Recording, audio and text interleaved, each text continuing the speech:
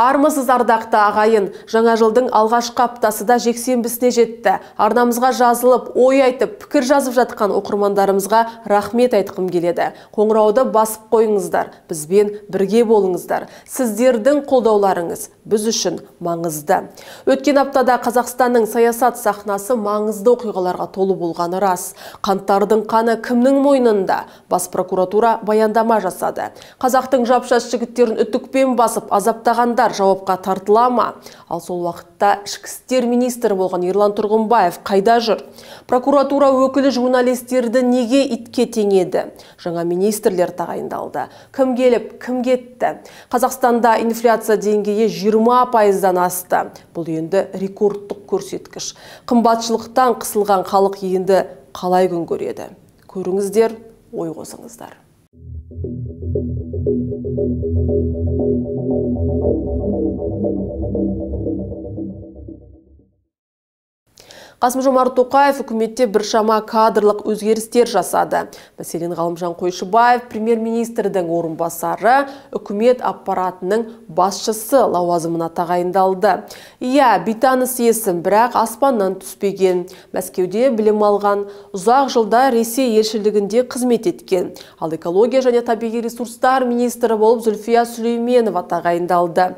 Қазір жас министр ретінде елдің аузынан түспей жүрген Зүлфия туралы қоғамның пікірі екіге жарылады. Бірі оған сеніммен қараса, бірі оның бар жоғы 8 жылдық еңбек жолында осындай биікті бағындырғанына таң қалады. 90 жыл Ақтөбе қаласында дүниеге келген ол өзіміздің енудің түлегі. Еңбек жолын 2014 жылы жаһандық саясат және қауіпсіздік орталығының ғылыми қызметкері болып бастаған. 6 жылдан соң министрлікке келіп басшылық қызметтерді атқара бастады. Сосын мәжіліс депутаты да болды. Ал 2021 жылдың қыркүйегінде қызметке кіріскен Серікқали Біркешев босатылды. Былтырғы шілдеде егінді таптап жатқан киікке байланысты шу шыққаны бар. Естеріңізде болар. Сонда Біркешев киіктерді қырамыз, жоямыз, атамыз деп еді. Тоқаев үкіметтің кеңейтілген отырысында киік қазақ үшін киелі екенін, оны реттеу мәселесіне ойлы түрде келу керектігін ескертті. Осы жұмысты дұрыс ұйымдастыра алмаған үшін ол сөгісте алды. Президент сыннан кейін бақта министрдің отставкасы туралы сөз қозғала бастады. Бұдан кейін де Біркешевтің басы даудан арылмады. Бұл қызметке дейін Біркешев Дариға Назарбаеваның күйеуі Қайрат Шәріпбаевпен бірге Қазтрансгазда қызметтес болғанында атап өткіміз келеді. Ал бүкіл ұстазының қолдауына ие болып үлгерген 3 жылдан астам уақыт білім және ғылым министрлігін басқарған 2022 жылдан бері оқу ағарту министрі атанған Асхат Аймағамбетов қызметінен босатылды. Мемлекет басшысы оның орнына осы жылдың наурыз айынан бастап оқу ағарту вице-министрі болған Қызылорда облысы Шиеліден шыққан Ғани Бесенбаевты тағайындады. Бесенбаев та білім саласынан шеткер жүрген кадр емес, қазақ тілі мен әдебиеті пәнінің мұғалімі, мектепте сабақта берген директор оқу тәрбиесі ісі жөніндегі орынбасары мектеп директоры болды. 28 жасында мемлекеттік қызметке келген екен. Асхат Аймағамбетовке келсек, ол ағарту саласын 3 жылдан астам басқарғанда көптеген реформалар жүргізіп үлгерді. Заңнамаға балаларды қорлаудан қорғайтын нормалар енгізді. Балалардың тамақтануын ұйымдастыру ережелерін өзгертті. Ұлттық бірыңғай тестілеу магистратура мен докторантураға емтихандардың цифрлық форматына ауыстырды. Мұғалімдер мен оқытушылардың жалақысын, сондай-ақ студенттердің стипендиясын ұлғайтты. Ғылыми ұйымдарды материалдық, техникалық жарақтандыруға бюджет қаражатының бөлуіне атсалысты. Ең бастысы көптеген ректорлардың орнын ауыстырып, университеттегі жемқорлықпен, былықпен күресті. Жуырда ғана қазіргі үкіметте өз орнында отырған міндетін абыроймен атқарып жатқан бар жоғы бір-екі министрі барын жазған едік. Соның бір сөзсіз Асхат Аймағамбетов еді. Осы Аймағамбетовке дейін қаншама түрлі түсті министрлер болғаны рас білім саласында не істеп не қойғандары олардың әлі күнге дейін белгісіз. Таптамаша реформаларды бастап кеткен бұл министрді алып тастады. Неліктен екенін біз түсінбедік. Мәдениет және спорт министрі Дәурен Абаев та қызметінен кетті. Ал Абаевтың орнына мәдениет және спорт министрі болып аманаттың атқарушы хатшысы келді. 32 жаста Қазақстан тарихындағы ең жас министрлердің бірі әрине. Енуді бітірген. Магистр дәрежесі бар. Өзі еңбек жолын Нұр Отаннан бастаған. Елордалық жас оттан жастар қанаты хатшылығында басшы болған. 2014 жылдың өзінде 24 жастағы Оралов Нұр Отан партиясы елордалық филиалы төрағасының бірінші орын басары лауазымын атқарған.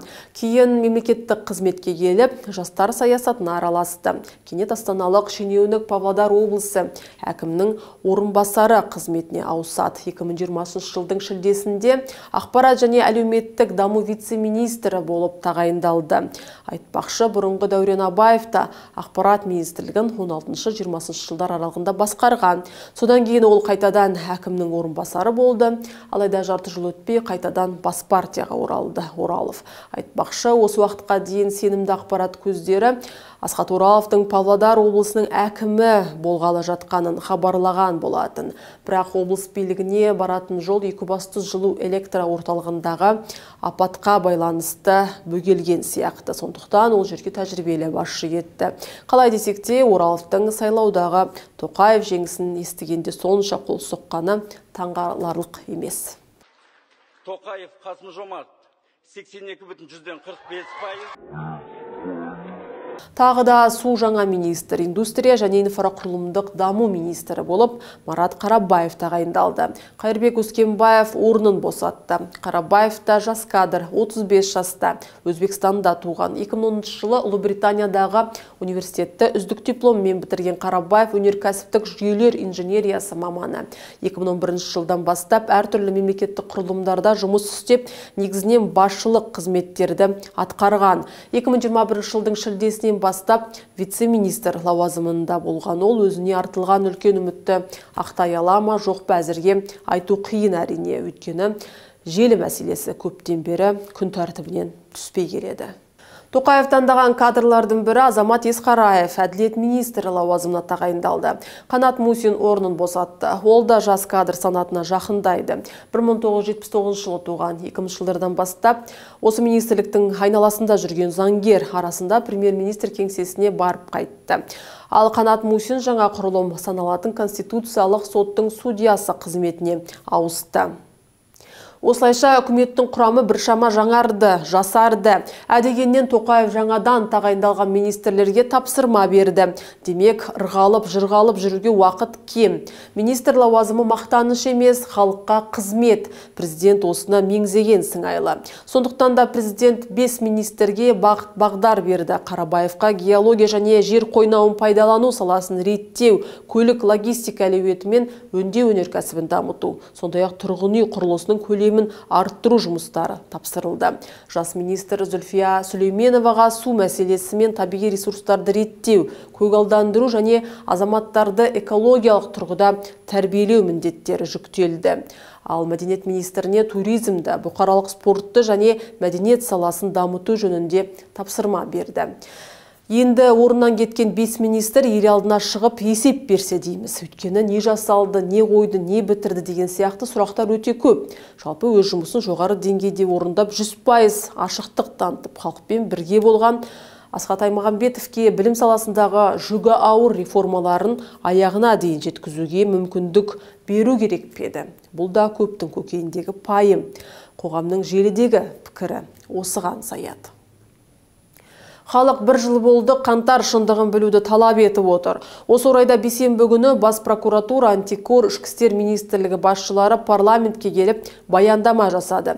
Отырыс бір минуттық үнсіздікпен басталды. Бас прокурор Берік Асылов азаптау бойынша істер аяқталуға жақын екенін айтты.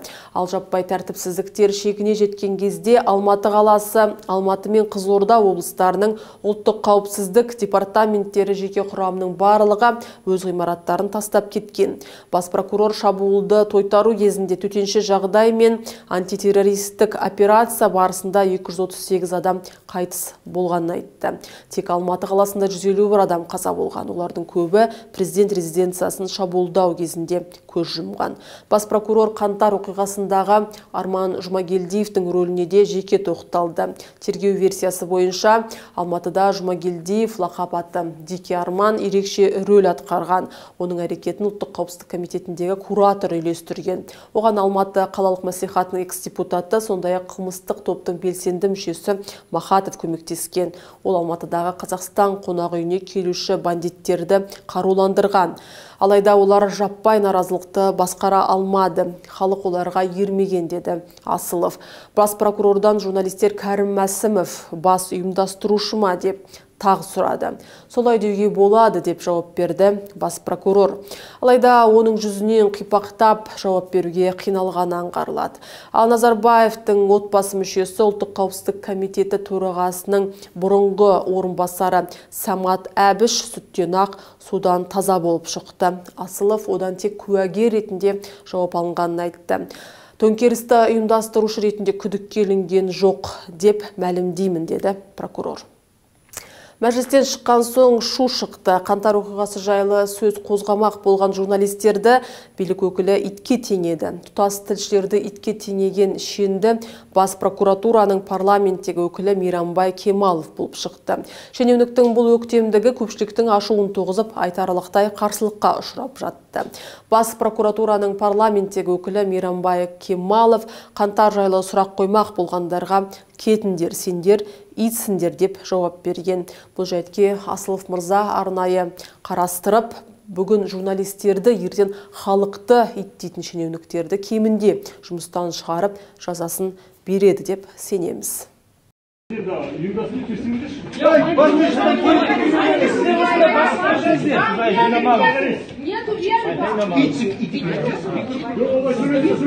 Көрсеш, адам политик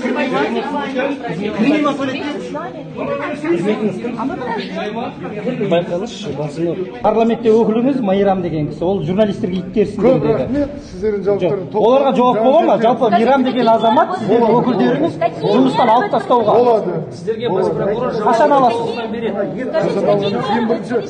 құрметті журналистер құрметті журналистер сұрақтарыңызды барлық барлық сұрақтарыңызды Ал апта ішінде қантар оқиғасы бойынша күдікті деп танылған Алматы облысы полиция департаментінің экс-басшысы Күдебаевтың соты басталды. Ол ауыр зардаптарға әкеп соқтырған қызметтегі әрекетсіздігі деген күдікке ілінген. Серік Күдебаев 2020 жылдың қантарынан 2022 жылдың қантарына дейін Алматы облысының полиция департаментінің бастығы қызметін атқарған. 22 жылдың 18 ақпанында ішкі органынан өз еркімен босатылды. Бұдан бұрын бас прокуратура оның қантар оқиғасы кезінде жұмыс орнын тастап кетіп бара жатқан сәті таспаланған видеоны жариялаған болатын. Ал қантар оқиғасына дейін ішкі істер министрі болған Ерлан Тұрғымбаев қайда жүр? Оның қарамағындағы Күдебаев пен Кіші Мәсімов айыптау сотында отыр. Тұрғымбаев қайда? Неге одан жауап алынбайды? Тіпті куә ретінде де көрінбейді. Әйтеуір қантар оқиғасынан кейін тергеу изоляторындағы азаптау шараларына қарамастан Тұрғымбаев тып-тыныш қана ретіндегі өкілеттігін тастап президент кеңесшісі болды. Оның 5 қаңтарда Алматының орталығына 20 мың адам келіп, әкімдік ғимаратын басып алуға әрекеттенгенін айтқаны есімізде. Азаматтардың қауіпсіздігін қамтамасыз етуі тиіс министр полицияның шабуыл жасаушылардың айтарлықтай сандық артықшылығына байланысты шегініп кеткен мәлімдеген. Тәртіпсіздіктер кезінде 1300-ден астам полиция қызметкері, ұлттық ұлан қорғаныс министрлігі сондай-ақ арнайы органдардың әскери қызметкерлері зардап шекті дегенде Тұрғынбаевтың сөзі еді. Осы кезде қарулы қылмыскерлер қала көшелерінде бейберекет оқ жаудырып, полиция әскери қызметкерлерді қарапайым азаматтарды өлтірді. Олар сауда және ойын-сауық орталықтарын, қаржы институттарын, банкоматтарды тонау әрекеттерін жасады, деді Тұрғынбаев 9 қаңтарда. Ал халық бүкіл елде қанды қырғынға жол берген бейбіт шерулерге оқ атуды бұйырған арандатушыларды құрықтай алмаған министрді жауапқа тартуды талап етті. Алайда Тұрғынбаев тергеу изоляторына емес Ақордадан бірақ шықты. Бұрынғы әріптестері Ерлан Тұрғынбаевтың жай ғана тергеуші болғанын, шапырашты болып туғанның арқасында арманына жетіп бүкіл полиция бастығына айналғанын айтады. 2022 жылдың қаңтарында ол ішкі істер министрі ғана емес, полиция генерал-лейтенанты және бұйрық беруші болды.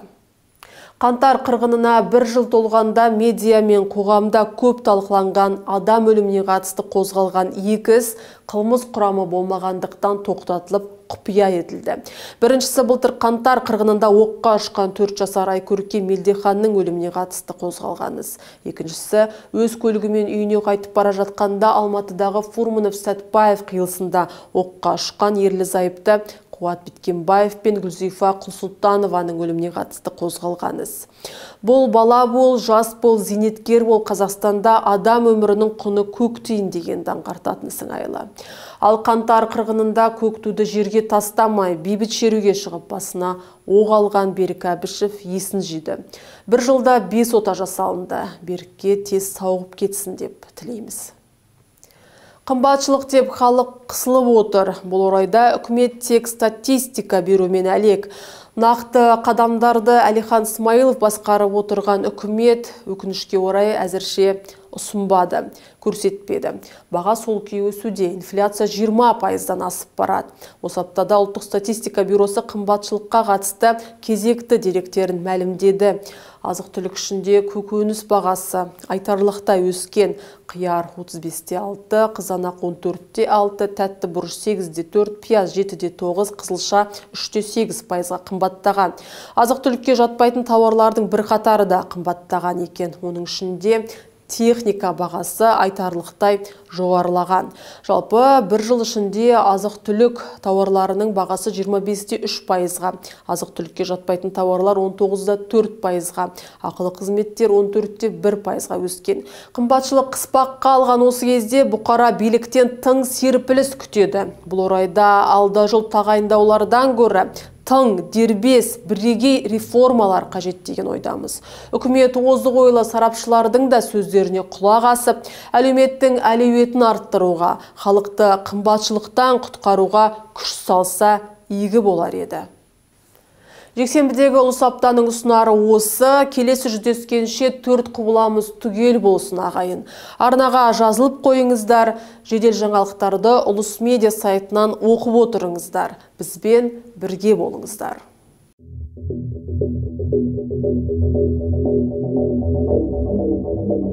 you.